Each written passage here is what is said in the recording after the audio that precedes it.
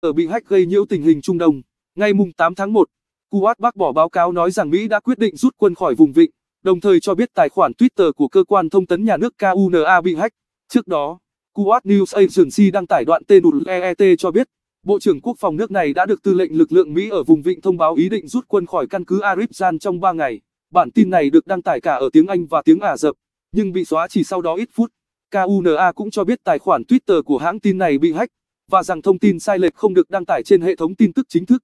Hôm thứ Sáu tuần trước, Mỹ thông báo triển khai thêm 3.500 quân tới Trung Đông nhằm đối phó tình hình, sau khi nước này sát hại tướng Iran Qasem Soleimani tại Baghdad, Iraq.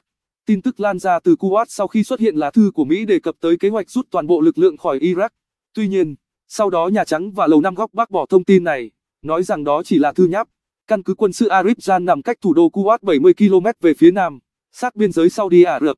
Đây cũng là căn cứ chính của Mỹ tại Kuwait, nơi đang có hàng nghìn lính Mỹ đóng quân. Nơi đây được xem như trạm trung chuyển sang Iraq và Afghanistan.